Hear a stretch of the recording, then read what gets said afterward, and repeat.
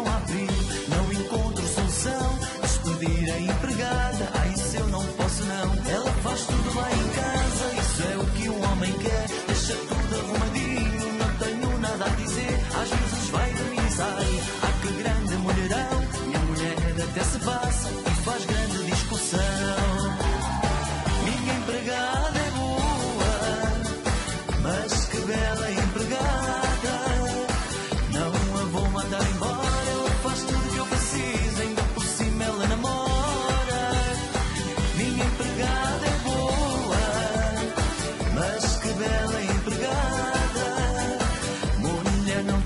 porque eu só te quero ti e dela não quero nada.